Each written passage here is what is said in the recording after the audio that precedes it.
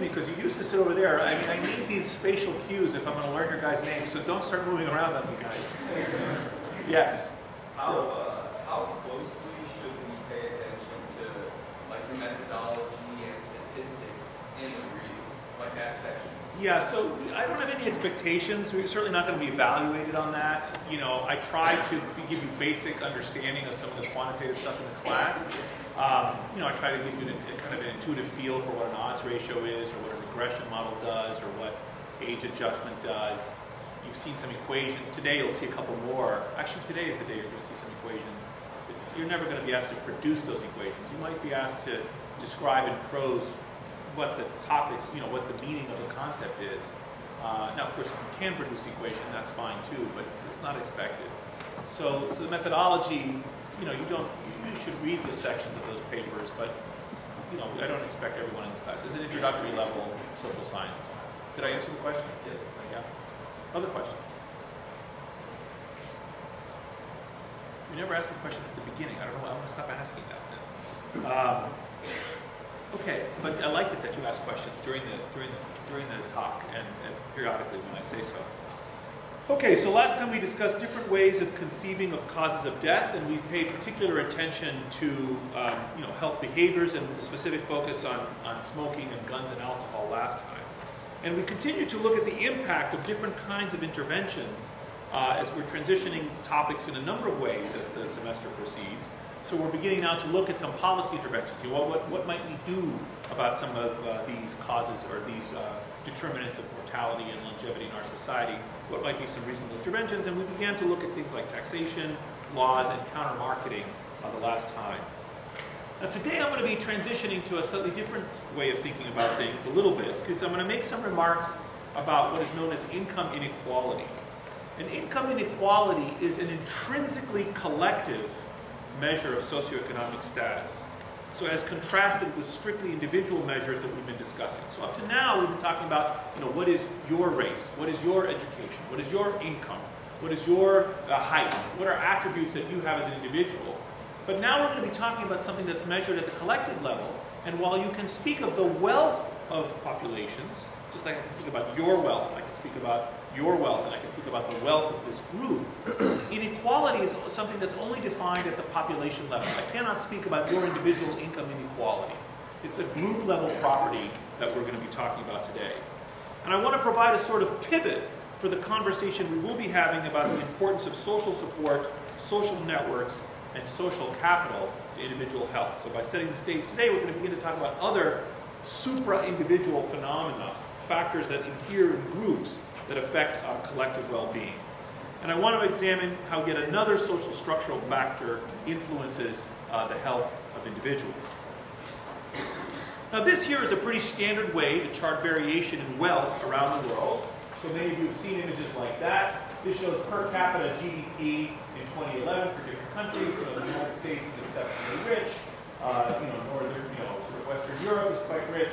Africa is quite poor. And you get a smattering, you know, countries around the world where the bigger intensity uh, indicates are richer countries. And you've all presumably seen maps like this, which countries are rich, which, which are poor, on average.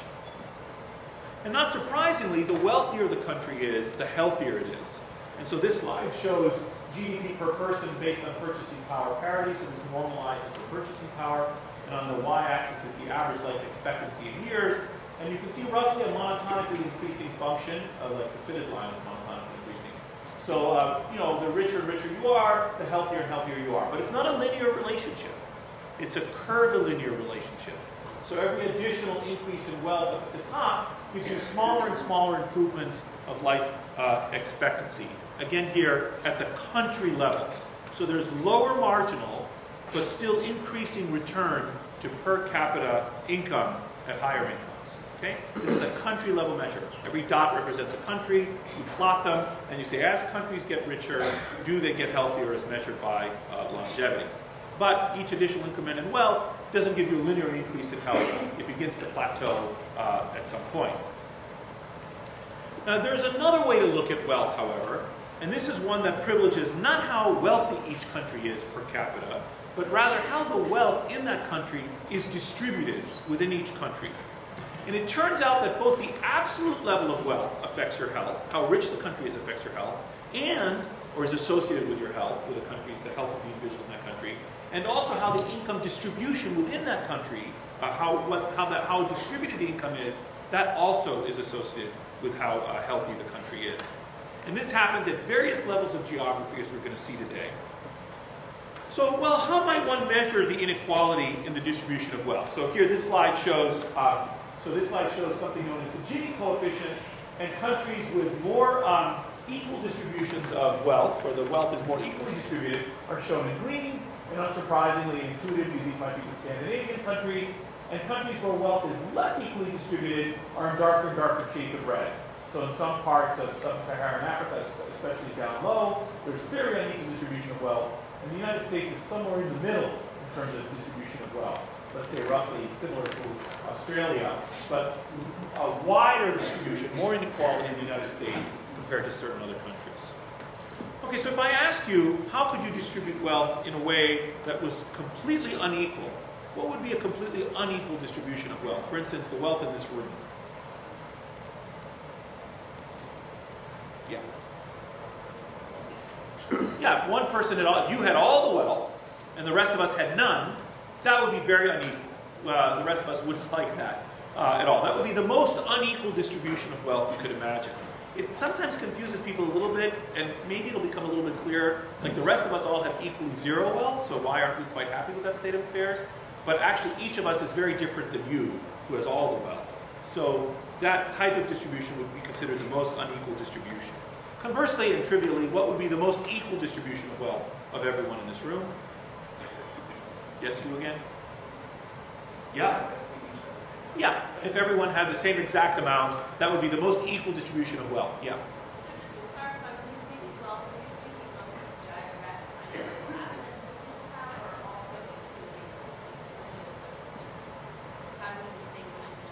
So we could define it in any number of ways, and for now I'm just being very abstract, so it doesn't matter how you define it. So whatever the goods are, whether they include other you know, redistribution, net of taxes, not including taxes, fixed assets, or we talk about income, so we could ignore everyone's wealth and just say, well, you know, we're going to apportion amount of income in the coming year. So for now, we're being very abstract on this. So we're just saying, you know, what would be the most equal way to distribute a pot? And so we give each of you uh, the same amount. And I also want to be clear that what we're talking about now is, is uh, we're talking about outcome, and we're not talking about opportunity or desert, right? So we're not talking about like, whether you deserve this distribution, nor are we talking about whether everyone has the same opportunity but earns different amounts. We're just simply talking about the outcome, like what's the most equal distribution uh, or not. And here's how one measure of inequality uh, can be quantified. This is the most classic version. It's called the Gini coefficient. Uh, and this is the coefficient that goes from 0 to 1. And in this coefficient, uh, the number zero corresponds with perfect equality, where everyone has the same income, or wealth, or assignment of the resource, whatever that resource might be. Mm-hmm. And one corresponds to perfect inequality, where one person has all the income or wealth or resource, and everyone else has zero income. And algebraically, it's half the arithmetic average of the sum of the absolute differences between all pairs of incomes in a population normalized to the mean income. and here's the equation for that. What does that mean? So here's xi and xj, and then it's, it's summed across j and summed across i, and I'll give you intuition, divided by 2 times the number squared, uh, uh, normalized to the mean income. So what does that mean? It says, okay, I'd like to quantify how unequal the income in this room is. I'm going to take my income, and I'm going to take your income, and I'm going to subtract those two, and compute the absolute difference in our income.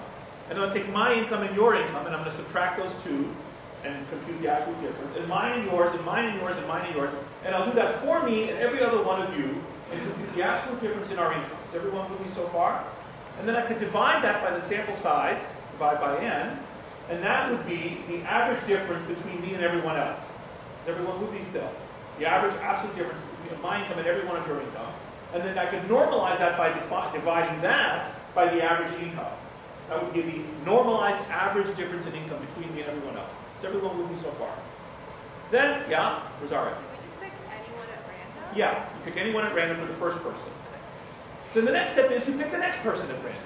So having done me, then you move on to you. You compute the difference between you and everyone else and do the same calculation. And then you and everyone else do the same calculation. And now you sum across that uh, variation. You sum across all of those pairs of individuals and divide that by n again. So it's the sum of all the differences of each person with each every other person in the income. So you say, well, how different is my income than everyone else's? How different is your income than everyone else's? And the average of all those different averages is the Gini coefficient. It's a way of summarizing how heterogeneously is the income distributed in the population. Do you at least have an intuitive appreciation for this? If everyone had the same income, the difference between me and every one of you would be zero, and the difference between you and everyone else would be zero, so there'd be no difference in income between us and anyone else. And so the Gini perfect equality would be zero, okay? And if I had all the income and every one of you had zero, the difference between me and every one of you would, all, would be the maximum difference possible between all of you. And between all of the rest of you would always be zero, because zero minus zero is, is zero. And so I would have all this throw weight of my income difference from everyone else. Does everyone understand where I am so far? Just intuitively? Yeah. Right, so does that mean the, the Gini coefficient doesn't necessarily say whether population is all rich or all poor, but it just says that across? Yes, that's exactly right. That's exactly right. And that also reflects in part this normalization by the average income. So it's just measuring how unequally, whatever the income is, we could all be sharing a billion dollars or we could all be sharing a dollar, just how unequally is it distributed? Other questions? Okay. And this is typically used to measure income inequality, but it can be used to measure distribution on any axis, such as inequality in education or inequality in height or age or anything else. So you can say, well, how, how unequal is the age in this room? How is it distributed? Or how unequal is the education in this room? And so forth and so on. And another way to describe the income distribution is to use something known as a Lorenz curve. Now here's how the Lorenz curve works. So the Lorenz curve here on the y-axis is the proportion of total income. And on the x-axis is the decile of, let's say, households or individuals. Okay?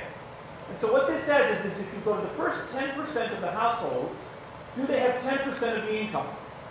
And if you go to the first 20% of the households, do they have 20% of the income? And if you go to the next 30% of the households, do they have 30% of the income? So if, if you move across the decile of households, they have a progressive increase in the decile of income, it means that this is a line of equality. The income is perfectly distributed. Conversely, if the first 10%, next 10%, next 30, so on, if they have no income, it's 0%. You have to go all the way to get to the last household, and then bang, that guy has all the income, right? So as you move through the population, you sweep through the lowest decile, the next lowest, the next lowest, no money, no money, no money, no money, and you get to the last guy, and he has all the money, right? So you get to the last guy, and he has 100% of the income, that would be considered the most unequal distribution. And of course, usually it's somewhere in between, and that's known as the Lorenz curve. That curve that says, for example, here, the bottom 20% of the households have 5% of the income.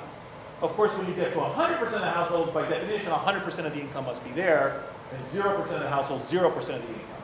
But this slide says that 50% of the bottom 50% of the households have like 18% of the income. Do you see the curve that's being defined so far? And it turns out that the Gini index is actually given by looking at two, two areas here.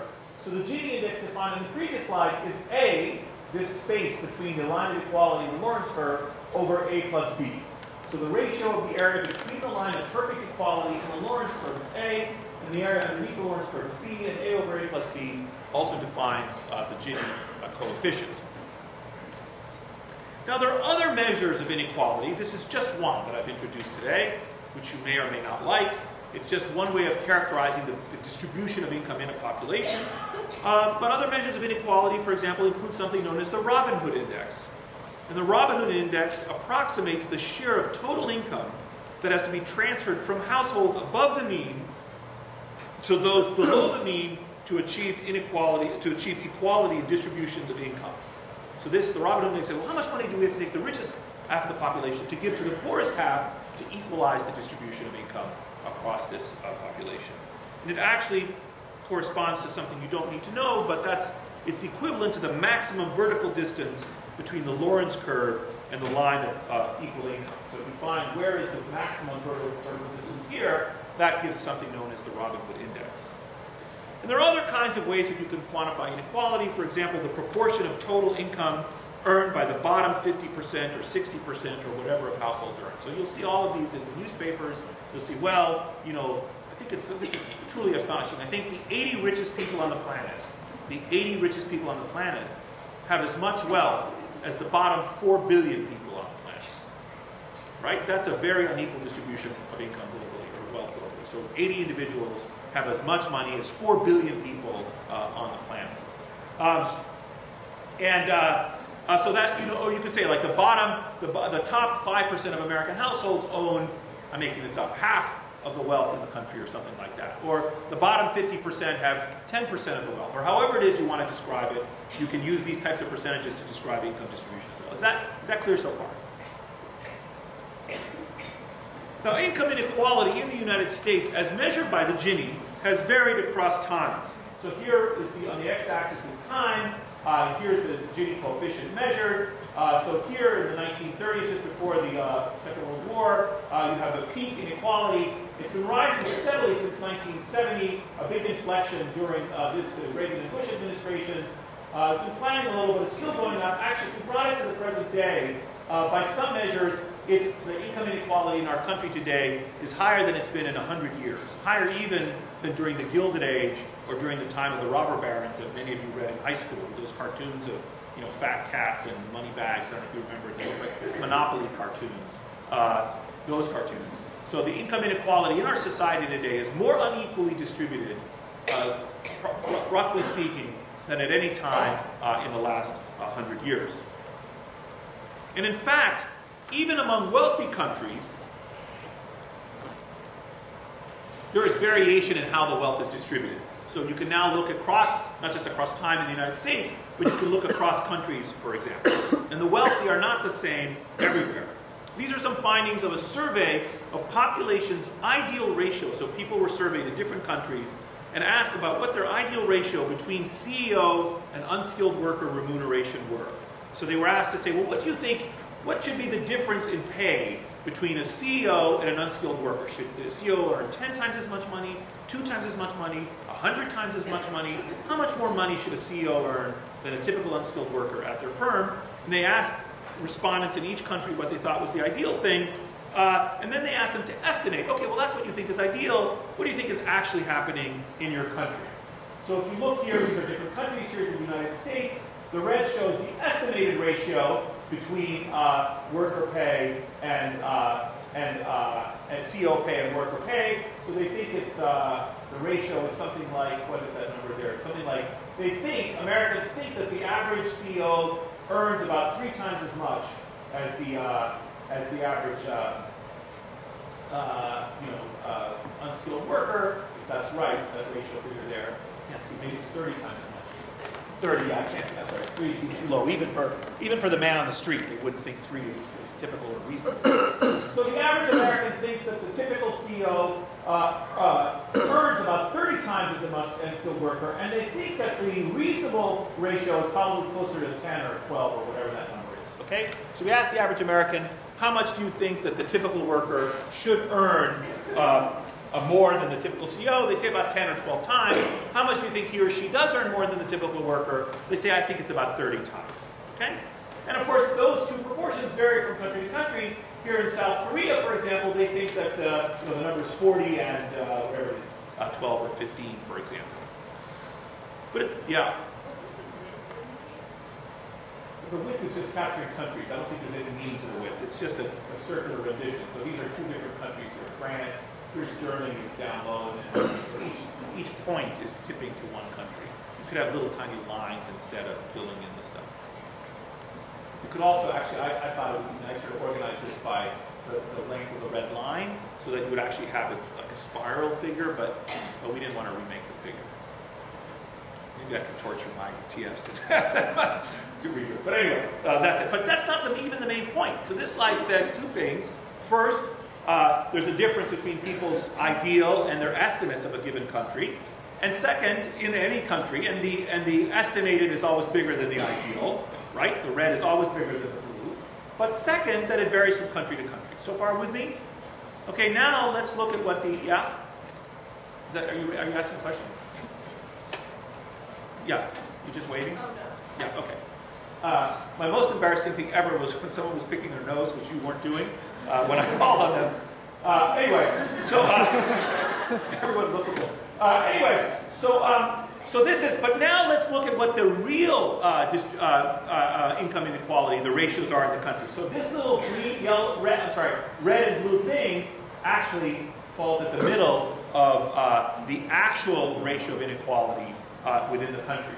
So here, if you look at the United States, the average American CEO earns 352 times what the average unskilled worker earns. So remember, the average American thought that the, the CEO should earn 10 or 12 times more. They estimated that the CEO earned 30 times more. Actually, the CEO earns more than 350 times more than the typical uh, worker. That little red and blue thing shrinks down into the middle. And this too varies, obviously, from country to country, although the variation is different.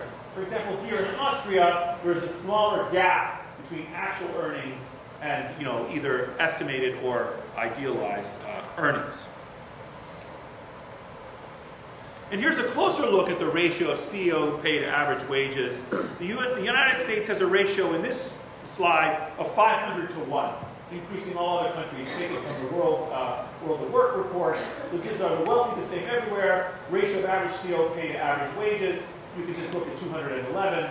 Uh, it's about 500 times the average CEO to average wages, much bigger than the UK, Germany, Hong Kong, Switzerland, Netherlands. Other countries we think of as rich and quite civilized don't have quite this much, uh, by any stretch of the imagination, inequality is captured by this metric. In the last few decades, in fact, most real income growth in the United States has gone to the wealthiest. So it's true that we become richer on average. We are a wealthier nation than we were 20, 50 years ago, no doubt about it. But not everyone, not all boats are being uh, raised. Forget the same amount, raised at all, actually.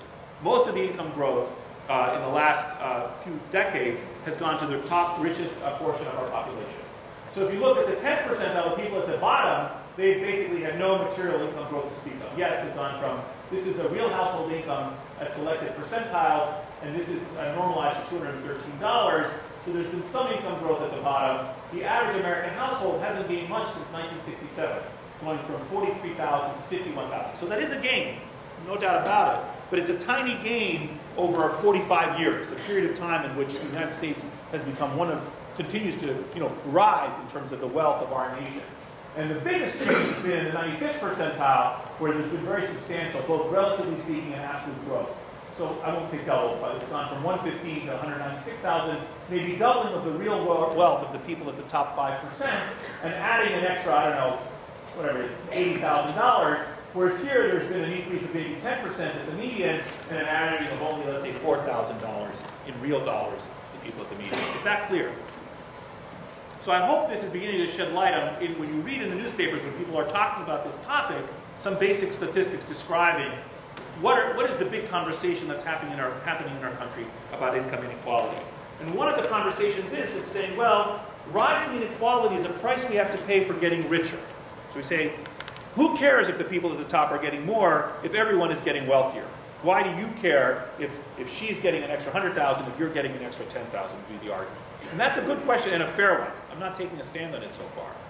But uh, it's not necessarily the case that you're getting 10,000. You might be getting 10 and she's getting 100,000, or nothing and she's getting 100,000.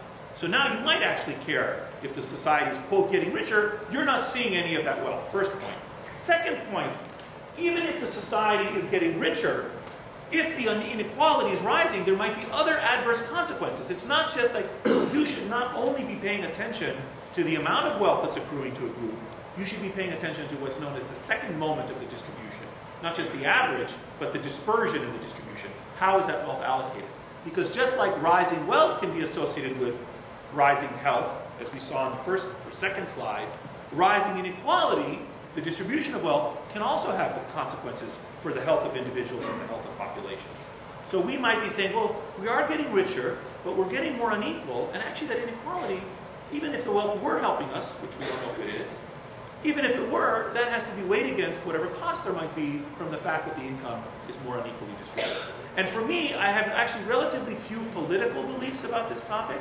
I'm actually very instrumental. I'm really just interested in what gives us the most civilized society what's actually best for our society. What would be a way to so organize ourselves so as to create the best civilization, the most enlightened, the most beautiful, the most productive of knowledge, the healthiest, which is my main concern. How can we ad adopt policies of different kinds with respect to this topic today that make us better off, at least when it comes to health? And in fact, inequalities varies not just across time in the United States, but also across space. This graph shows the relation between Gini and mortality adjusted for age in each state in 1990. And the, uh, uh, and, the, and, the, and the circles have a diameter proportional to the population. So for example, this shows the Gini of income per equivalent adult. So this is the Gini coefficient here, and this is the log odds of mortality. So more likely to die is up here, and more unequal is here. And here are Mississippi and Louisiana uh, right over here, and on the bottom are New Hampshire and, uh, and Utah uh, down here, which have the lowest inequality and, rough, and the lower uh, mortality, for example. Okay, so across states, there seems to be a relationship between how unequally the income is distributed and how healthy the states are. Now, one of the questions that immediately is raised by an analysis such as this, and you read several papers on this topic uh, in your readings, is the question of whether everyone in unequal areas is being harmed or just those at the bottom. So actually, if you live in a more unequal way, if, if you're the poorest person in this classroom, or if income is unequally distributed in this classroom, it could be equally distributed or unequally distributed, are only the people at the bottom harmed by such a distribution? Or does everyone somehow get harmed, maybe just a little, by this unequal uh, distribution? And the general answer is that unequal income and hierarchy may be not just bad for those at the bottom. There may actually be adverse consequences even for those at the top. And this is a very contested hypothesis, and it appears to be extremely sensitive to the level of geography as we're going to uh, show you today and as the readings discuss. Because, for example, right off the bat, you should have an appreciation for the fact that Louisiana and Mississippi not only have more unequal incomes compared to Utah and New Hampshire, but also they're poorer than Utah and New Hampshire, right? So at a minimum, we're going to want to account for the relative wealth of those two things. Before you run out and say inequality is bad for your health, which is what I'm going to try to say today, we have to at a minimum account for actually absolute levels of wealth as well, both at the collective level, at the state level, at the area level, and at the individual level. Is everyone with me still? Yeah, okay. So maybe Mississippi and Louisiana are doing terribly here because they're just poor, so we need to account for that as well. So patterning across time, patterning across space, and income inequality in our society. Now you could then go down to a smaller level. You say, well, maybe the states are too big uh, areas. And the same analysis could be repeated at the metropolitan level, looking at thousands or hundreds of MSAs uh, around the country, and you find the same pattern. I haven't marked the cities here, but you find the same pattern using at the metropolitan statistical area, the MSA uh, level uh, here. This was work by uh, D. Lubotsky uh, and SSM, two economists. So what do we mean by a possible effect of an area that you reside in? So if we're going to say that there's something about the inequality of the income in the area around you that affects you in some way, for example, makes your mortality worse, what does it mean when we say that? If you live in Mississippi or Louisiana, we want to say something about living in those states. They're poor states, and also the income is unequally distributed. Both of those things are bad for you. Well, one possibility um, is that uh, area context matters. And the idea here is that this is the difference that places make to people. There's something toxic about that environment. It sucks to be in an area, in an unequally, in an area where some resource is distributed unequally, and that's harming you, is the claim. Okay? But a second possibility is that area composition matters. And here it's that the, this is the difference that people make to places rather than the reverse. For example, suppose that neighborhood A has twice the mortality rate of neighborhood B. But what if everyone in neighborhood A was very old? For example, neighborhood A was a nursing home over there, neighborhood B is Yale College students. It's not a shocking result. We're not going to say that nursing home is killing people, right? Or something like if you went to that nursing home, you would drop dead. That's not what we're going to say. We're going to say actually there are different people in that nursing home than there are here. That's the compositional effect. That's the difference that people make to places. And you have to take that into account before you can conclude something about the contextual effect or the difference that places uh, make to people. Now the claim with respect to income inequality is that income inequality is an intrinsically contextual effect and that, and that um, And that, and that this arises even though people who live in more unequal areas might also be different than people who live in more equal areas. For example, they might also be poorer. Okay? So we have to first take into account that fraction of the difference that has to do with a compositional effect before we can make a statement about what fraction of the difference has to do with the contextual effect of places upon individuals. Everyone with me still? And so now the question arises, in fact, does living in more unequal circumstances affect the health of individuals? And initial work in this area was purely ecological, like some of the data I've shown you so far. Looked at different areas and looked at the mortality outcomes in those areas and didn't go down to the individual level. Just said areas with more inequality are areas with higher mortality and that left it at that. Didn't measure individual level uh, mortality based on area exposure. But more recent studies that have used superior designs involving both individual and contextual measures nested within one another have provided more robust insight into this hypothesis. These are some results from a particularly well-conducted study taken from your reading assessing how state-level inequality, net of individual-level income and other factors, can harm individuals. And this study looked at people residing in the continental United States. It looked at over half a million people, ages 18 to 74, who lived in the contiguous United States between 1987 and 1994. And on average, these people were followed for five years, and there were nearly 20,000 deaths, 19,379 deaths in this population. And they had individual level family income in 27 categories, which were adjusted for inflation and family size. And they had state level Gini categories which were categorized into five levels. So in the year and the state that you were in, how unequal was the income. And they also knew about the individuals, their age, race, sex, marital status. They controlled for how poor the states were, in addition how unequal the income was, and the median income uh, of the uh, population. State level poverty, median income, and so forth. And what they found uh, was, uh, was the following. This shows income inequality and individual mortality risk in this paper, which was in your reading. So they start, let's say, with family income. And they find if you're poor, you have more than twice the odds or the risk of death compared to if you were in the richest category. So the odds ratio of death in during follow-up was 2.69. So you had uh, 2.69 times the odds of dying during follow-up if you were in the poorest category compared to if you personally were in the richest category. And there was a gradation, which you've seen before, we've talked a few lectures ago, that the richer you are, the less likely you are to be at elevated risk of death. Now, after accounting for that, they also looked at well, what's the effect of living in a more unequal state. And they found that if you live in a more unequal state, you have a 12% increased odds of death during follow-up. And there also there was a monotonic gradation until you lived in a relatively more equal death. These are relative risk of total mortality. So they found that there was a big effect of individual income, not surprising, but also there was a smaller effect, but still visible and graded, of state level inequality after controlling for your individual income. So despite whether you were rich or poor, living in a um, more unequal state harmed you even after taking into account your individual uh, wealth. And just to benchmark you a little bit on these income inequalities, less than 0.34, so the more unequal, uh, the more equal states here over here, that's like Scandinavia or Japan, uh, and over on this end is like Morocco or Australia. So if you want to just get a benchmark across the United States, what those differences are like. So it's like roughly the difference of like your mortality risk if I took you from Japan and moved you to Morocco and said, okay, well, this is the income distribution around you, and you may have some intuitive understanding of those income differences, that's the impact that this gradation would have. And the finding also, this, uh, this uh, paper also looked at income inequality and individual mortality now in this graphical way. So what we're going to do here is, is we're going to look at the individuals and what income category they are. Are they poor, near poor, middle income, or high income? And we're going to look at deaths per 100,000 person years.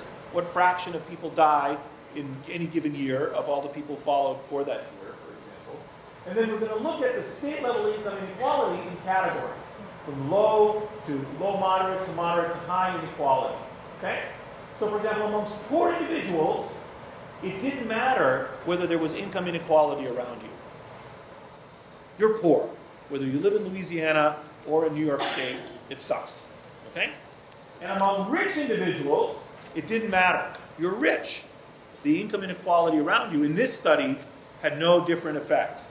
But in the middle income categories, there was a roughly positive gradation so that above and beyond controlling for your own income, amongst people in the middle, the more unequal the income was in the state in which you lived, the worse off you were, the more likely your health was to be harmed, here as measured uh, by uh, the death rates. So income inequality may not be so relevant for the very poor or the very rich, uh, albeit for different uh, reasons. What might be some of those reasons? Why might it not affect the very rich, for example? Why might it not matter to a rich person whether they live in an area with unequal or equal income distribution? Yeah, what was your name again? What? Joel. Yeah, so one theory we'll get to later today, or, or, maybe tomorrow, I can't remember, is that being at the top is good and it doesn't matter, you know, what else, what's happening below you, who cares? Uh, uh, that's one idea, yeah. So there's a kind of psychodynamic, psychic, uh, let's say, way that being, that that's, that explains that, yeah. Other ideas? Any other thoughts as to how the rich might be unaffected by income inequality? Yeah, what's your name? Angela? Huh?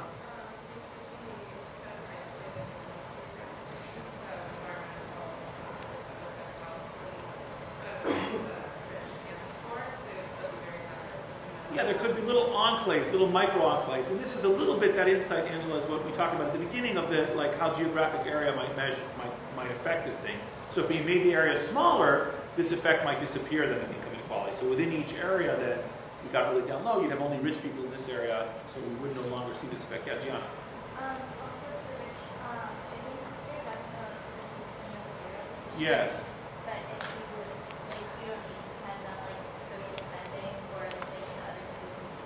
Yeah, that's right. So what she's pointing out is another, yet another explanation. And here the idea is that actually rich, you can just buy whatever you need anyway.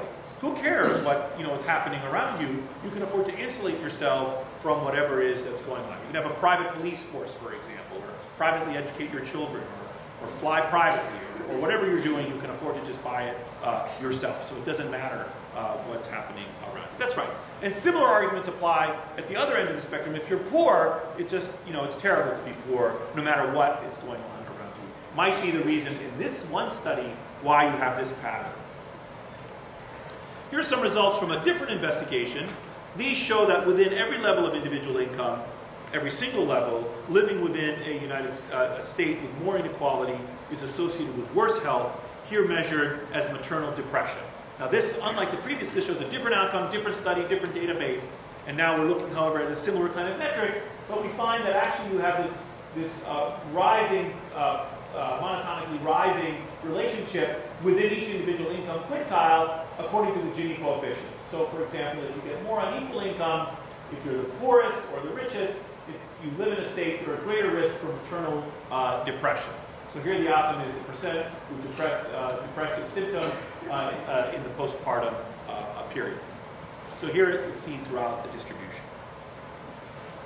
But as I noted earlier, the results about the effects of income inequality are actually mixed. These are data from still another investigation. Here of nearly 10,000 people nested within metropolitan areas. So this, this study is looking at, uh, at cities, at 60 cities in the United States. And the investigators obtained self-reports of various common chronic medical conditions and examined how local income inequality at the city level, net of individual income and other traits, was associated with these health conditions. And they found little, if any, effect in this study when measured at the city level. So they looked at, well, what's the probability that you're going to have arthritis, hypertension, diabetes, and heart disease, or rate your health as poor, or being in pain, or any of these other, or being depressed, for example. And here they looked at the levels of inequality, and the curves are basically flat. There's not some kind of a apparent relationship that the more unequal you are, the city, the more unequal the income is distributed in the city in which you reside, that the worse off uh, you were.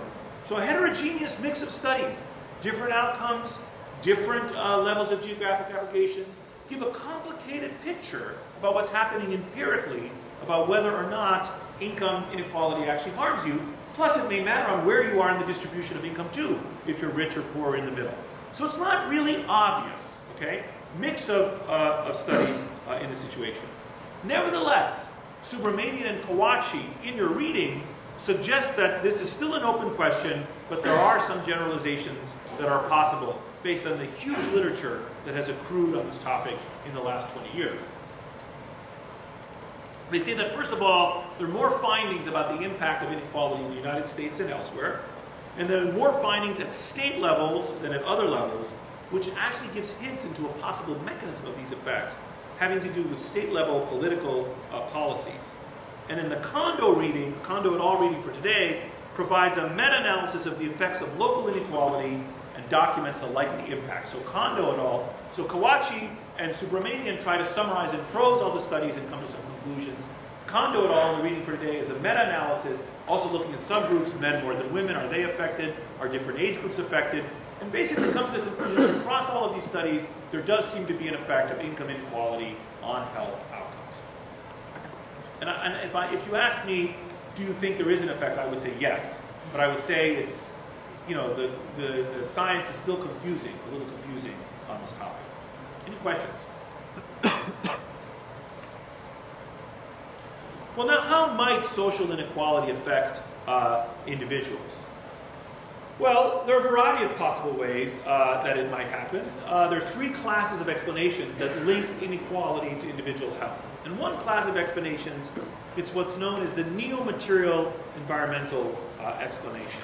And these might include things like differential social spending, neglect of the common environment or the commons, underinvestment in human capital, or lower social capital, all of which are ideas that we're going to be discussing.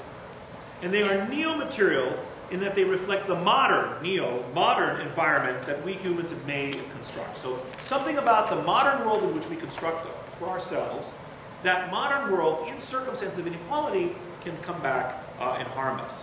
For example, more egalitarian societies may make more investments in the common good.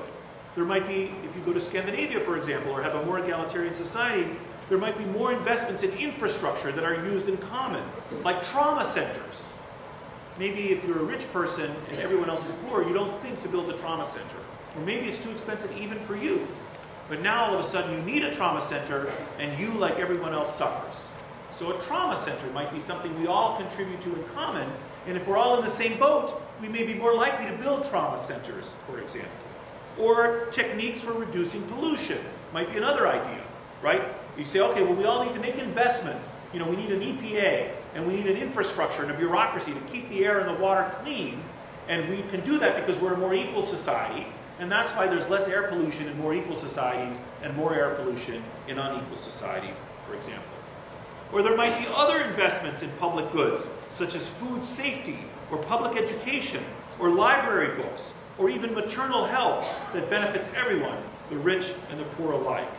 And a more egalitarian society might have less crime, and so fewer rich people might be shot in a more, uh, in a more egalitarian society. And there can even be the idea of this development of social capital, a kind of desirable property of groups, which we'll come back to in a few lectures. Or, as Lynch et al. argue, income inequality might be associated with educational and medical expenditures per capita. And these types of things might in turn have cumulative effects that harm people over their lifespan or benefit them over their lifespan. So that's the first set of arguments about how inequality might map the neo-material environment explanation, how it might be the, mechanism by which inequality might contribute to ill health. So more unequal societies make uh, fewer investments in air pollution reduction, maternal health care, uh, trauma centers, etc. And then because of those lower investments, everyone suffers, including especially the poor, but also even other rich. Neo-material environment. The second set of arguments focuses on psychosocial environmental processes, of which in turn there might be two types. First, income inequality might have physiologic effects. There might be direct physiologic effects of being in a more inequal, uh, unequal place. This might be the stress hypothesis, right? So if you're in greater, if you're in a place with more inequality, you might be stressed by the fact, uh, by this fact. And second, there could be direct psychological effects, or this notion of relative deprivation. So here the idea is, is that it's not that you have physiologic response to inequality, but rather some kind of psychological response to inequality uh, based on looking around you and seeing what is happening. And in fact, inequality can work by such so psychosocial means. And we're going to consider this at length uh, the next time, but there might be psychosocial processes that may damage health, such as a sense of relative deprivation, or an erosion of social bonds, and latent social conflict or hostility, or resentment that harms everyone. In other words, income inequality might produce adverse effects inside people's bodies and not just outside people's bodies, as in the neo-material explanation. Okay? So the neo-material explanation is, what does the inequality do outside your body that harms you? The psychosocial environment explanation is, what does the inequality do inside your body that harms you? And it can do two kinds of things inside your body, physiologic things and sort of psychological uh, things. Moreover, um, and these mechanisms might reinforce each other, of course, and they may operate at different levels of geographic aggregation, larger and smaller respectively.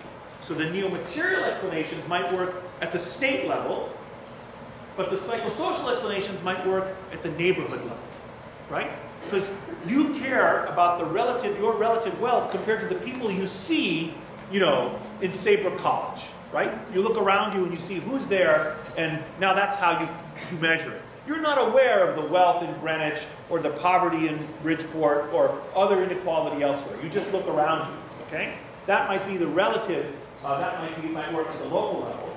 But the neo-material level might actually have to do with what are the laws that are being passed in the state of Connecticut. Or in New Haven, what is the taxation regime that is being imposed by the municipality? And so the neo-material thing might affect you more broadly. Those are the level at which, for example, it might make um, a difference. Moreover, income inequality over smaller areas might have either more or less of an effect than income inequality over a larger area, since less investments occur, uh, less since investments occur at the state level, or more since we assess ourselves over a smaller range. So now we have a kind of sense in which the scale, the geographic scale at which we're looking at the problem, gives us insights into the, um, the, uh, the, um, uh, the mechanism, the, kind of the way in which inequality might actually uh, be affecting us. And finally, the third way is a technical explanation. It's called the individual income explanation, which I'll come back to shortly. So let's consider the first explanation first today, uh, and then we'll, uh, and, uh, we'll, we'll, consider the first one in a moment. We'll consider the neo-Darwinian one in a moment, and we'll come back to the individual explanation also in a moment. But let's start with some, uh, some of the uh, psychosocial explanations first. So you know that feeling you get when you, uh, when you walk onto a plane and you enter it from the front and you walk past first class? Who's had that feeling? How do you feel? Come on, it's not a hard question. Do you find it enjoyable to walk past first class and go to steerage? No, it sucks, right? I mean, know, you go by and you see the pillows, and, uh, and the stewards and stewardesses are saying, can I help you, sir? You know, and meanwhile you trudge to the back and there's no luggage space left, and there's no space, and, uh, and so forth. It's annoying, and it makes you feel envious. But it passes, right? Eventually you walk past first class, you get to economy, you get your seat, maybe you forget what happened in the front of the plane. And so the question is, is this psychosocial aspect the feature that harms you during your flight? Is that why you feel less rested and more stressed when you arrive, uh, when you arrive than the more fortunate first-class passengers? Is it that psychosocial mechanism that's harming you? Or instead, is it the material conditions that are the difference between first class and economy class? They have more room, get more sleep, have less noise, fresher air, and better food, right? Maybe that's why when the plane arrives, the people in first class fare better than people in economy. It's not that you're aware of the fact that they have, it's not a psychosocial impact, it's a neo-material impact. And this distinction is very important because it's relevant to public policy. Under the psychosocial interpretation, these health inequalities would be reduced by abolishing first class, right? If, that's, if it's a psychosocial problem, then we just abolish first class. That will fix it. Or we could offer therapy to the people in economy class, for example. You know, that might be the, the solution to the problem, okay? But if it's the neo-material intervention, removing the amenities for first class doesn't help the people at the back, right? Abolishing first class doesn't help the people at the back. If it's the neo-material explanation, we need different public policies. We need to raise up economy class so that its amenities approximate first class amenities. Do you see the difference then? How these difference in mechanisms have implications for how we might uh, approach the problem. Now, of course, both sorts of effects could obtain, uh, and they might have different magnitudes. It's not an either or. Actually, both are true. But in different circumstances, they might have different relative uh, impact. You can actually use the Gini measure to quantify inequality in seat space and plot how it's changed across time. So at the top, here's the typical cabin configuration of a plane from when I was your age. Okay? Uh, there might have been, you know, six or eight first-class seats, and everyone else was in uniform economy. And if you look at the space allocation, the inequality in space allocation in flights back then, the Gini coefficient was like 0.08. Okay? So actually it was pretty equal, uh, the inequality in that uh, situation. So in those old planes, 7% of the passengers used about 15% of the room, and the other 93% used 85% of the cabin space, and they had a Gini index. Such a plane had a Gini of 0.08. And for reference, the United States Gini right now is about 0.48. But since then, things have become a lot more unequal. In today's standards, shown in the middle plane, the domestic configuration, 12% of the people in first class have about 25% of the passenger space. 51 people in economy plus have another 30%, and that leaves the sardines, another 157 people, with 47% of the space. Uh, that gives a Gini index of about 0.16. And actually, transatlantic flights are even worse. So the first class people have 20, 21% of the 21% of the people uh, use 40% of the plane, and so forth. Uh, I won't go through all the percentages, but that you have a Gini of 0.25 if you look at a typical uh, transatlantic uh, jet line. Now, by the way, this gives you a nice way to appreciate how unequal our society has become, insofar as we have more unequal allocation of space on planes. But just to be very clear, I don't want you to confuse the point here. I'm using this point to illustrate inequality in space assignment and to sort of say, well, how do people in these planes uh, fit in? It's actually rather more difficult to use this anecdote to make claims about our society because, for example, the people have paid for the space in these flights. So on a per dollar per square foot basis, actually the business class travelers are paying more than the economy travelers, okay? First point. Second point, actually, with the deregulation of our society, the people that we might feel sorry for, the sardines that are sitting in the back, prior to the availability of such low-cost seats, those individuals would have to take the bus to get from New York to Florida. Now they can fly in four hours sitting as a sardine and pay 200 bucks, but before they might have had to take 24 hours for the equivalent $200 and so forth. So maybe there are better, maybe they're better off too. So the point of this analogy is just to show you that inequality, how to visualize inequality in a plane, not to make so much of a broader policy point, narrowly with respect to planes. But I do want to highlight this, right? There are neo-material and psychosocial implications of this differentiation. Now, unless you think that the idea of abolishing first class is a crazy idea, take a look at this event from a year or so ago uh, that took place in Sweden. Lunch lady slammed for food that is too good. A talented head cook at a school in central Sweden has been told to stop baking fresh bread and to cut back on her wide-ranging veggie buffets because it was unfair that students at other schools didn't have access to the unusually tasting offerings. So here's this charismatic cook at one Swedish school that's making do with the same budget and cooking better, and all the other schools say, that, that's terrible, make her stop, right? Not because we are socially, psychologically being damaged by the awareness that this other nice school exists, rather than let's up our game and make better food, for example, in our schools. Um, and here, just to read the uh, article a bit more, it said Annika Eriksson, a lunch lady at a school in Falun, was told that her cooking was too good Pupils at the school have become accustomed to feasting on newly baked bread and an assortment of 15 vegetables at lunchtime, but now the good times are over, the story said. The municipality has ordered Eriksson to bring it down a notch since other schools do not receive the same caliber of food, and that is, quote, unfair. From now on, the school's vegetable buffet will be halved in size, and Eriksson's homemade loaves will be replaced with store-bought bread. Her traditional Easter and Christmas smorgasbords may also be under threat. Parents and pupils alike find the municipality's orders distasteful. Fourth graders at the school have even launched a petition in protest against the decision to put a lid on Eriksson's passion for cooking. Um, and in this case, actually, I think the decision was eventually reversed.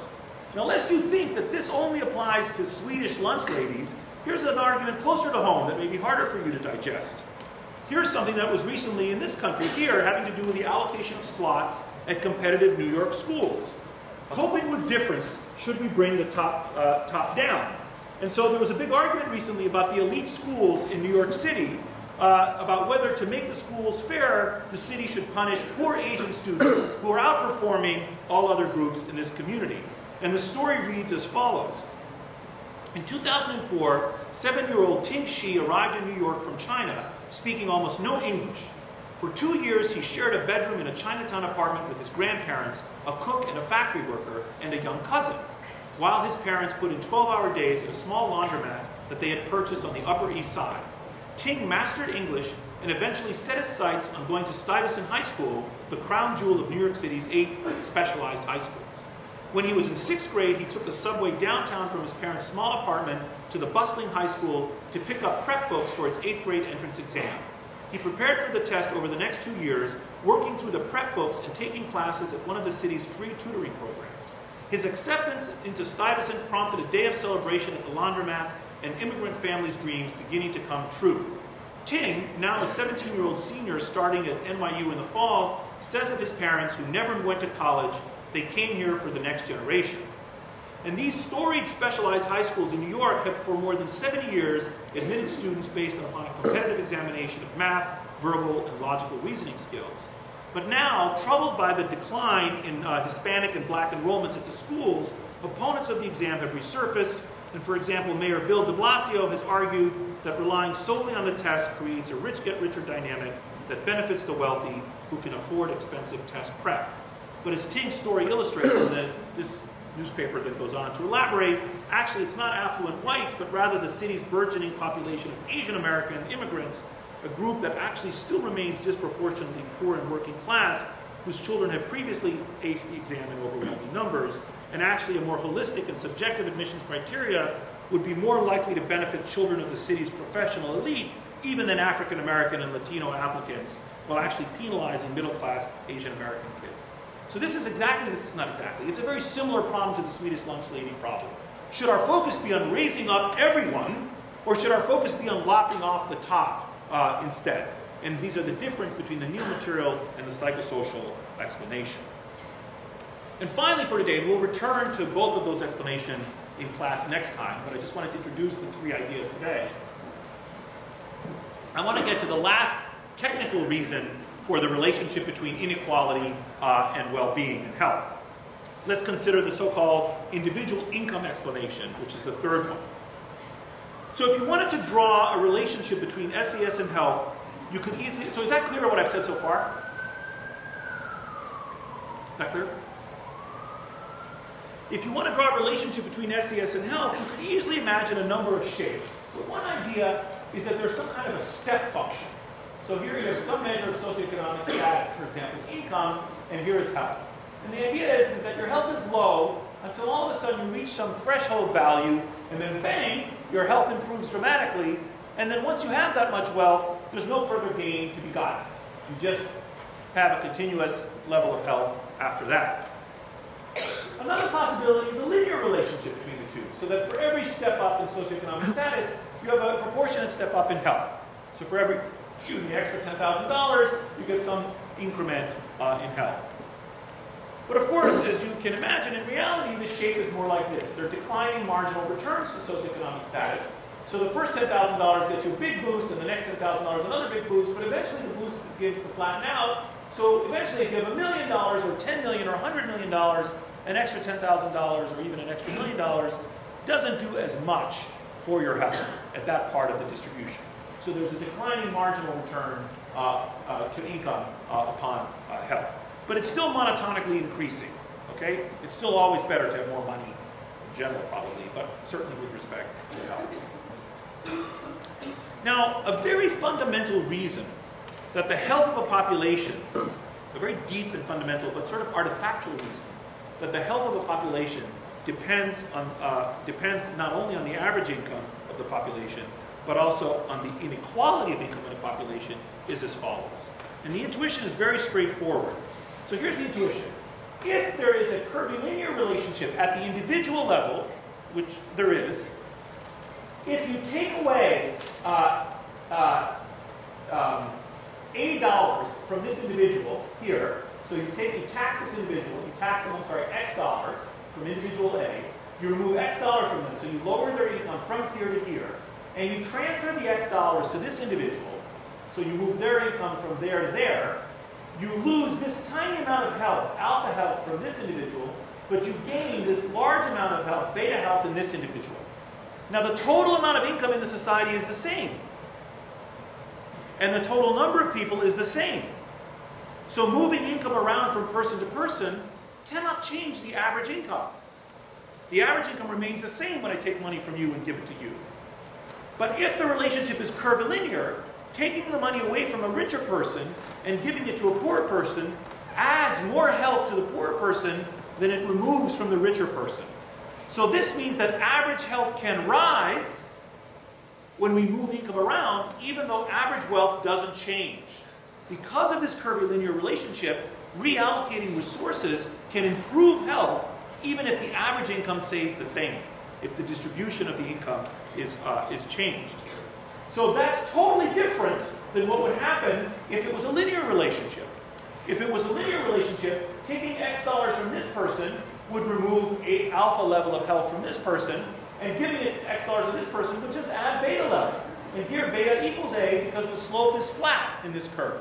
So redistributing income in a situation in which there's a linear relationship between the two doesn't improve anybody's health. I'm sorry, it, does improve some people's health, but it doesn't improve population level health. Is everyone with me so far? And it turns out the fact that the relationship between health and wealth is curvilinear at a very deep level explains part of the reason why we, at the community level, have a relationship between income inequality uh, and health. That is, if all that matters to health at the individual level is absolute income, and if the health-income relationship is nonlinear, average health in the society will improve as average income increases, and average health will also improve as inequality decreases. As you tax the rich and give to the poor, you're going to decrease, uh, you're going to increase average health for the reasons I just gave, if there is this curvilinear relationship. A community with more equal income will tend to have better average health than a community with more inequality for the same total income.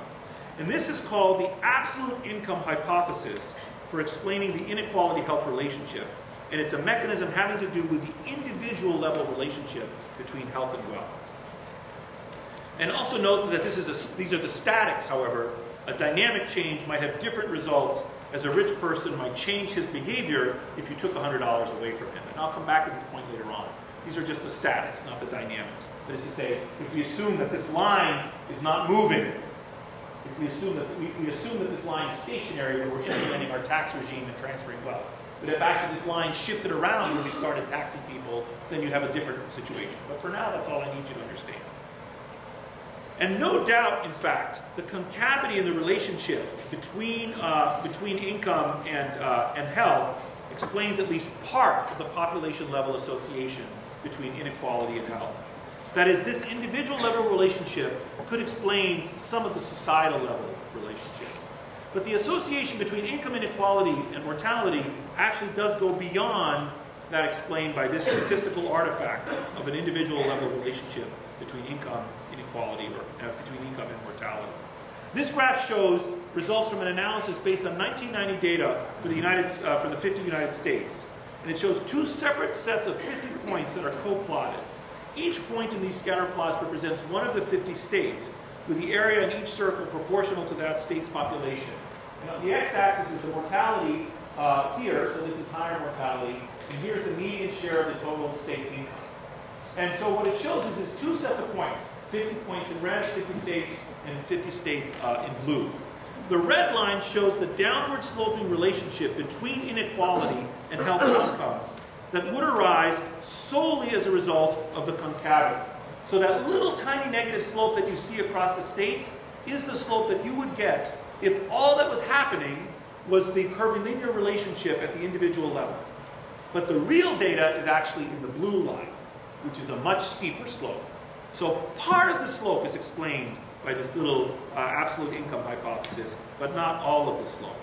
It turns out that the association between income inequality and mortality is considerably stronger than that which can be accounted for by the concavity at the individual level. And in fact, something else is going on, as we're going to see. Any questions?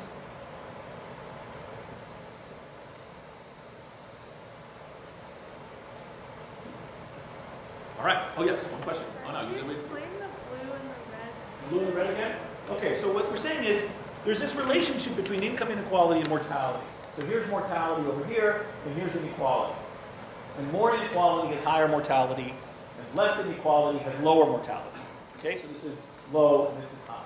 And what we say is, well, what would be the relationship between those two, state level inequality and state level mortality, if the only thing happening was this concavity relationship at the individual level?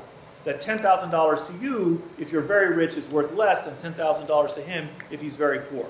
If that's all that was happening in the world, and no neo-material and no psychosocial effects, no other effect, just the mere fact that it's not a line, a, a- a linear line between um, the two, you would get this slightly downward sloping red set of points. That's what you would get. But that's not what we see. We see an even bigger relationship between income inequality and mortality, as shown by the real data in the blue line.